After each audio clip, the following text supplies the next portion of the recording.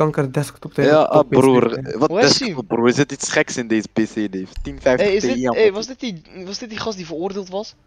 Ja, Ja, man, ik ben vrij G. Hey, respect broeder, mensen is free. Soldaat. Soldaat, niffel. Wat had je gedaan dan?